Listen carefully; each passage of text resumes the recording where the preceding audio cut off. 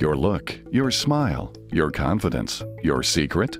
The Cosmetic Surgery Center of Maryland. Dr. Patrick Byrne is a national leader in facial cosmetic surgery. Rhinoplasty is one of the more difficult procedures in plastic surgery.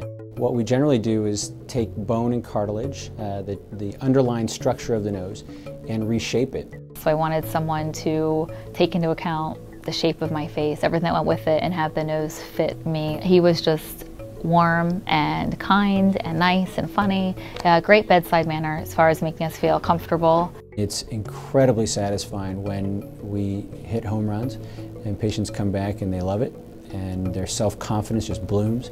Uh, it's a wonderful feeling. My daughter and I both had our noses done by Dr. Byrne. And we couldn't be happier. The Cosmetic Surgery Center of Maryland, creating beautiful results. Visit us online or call to schedule your consultation.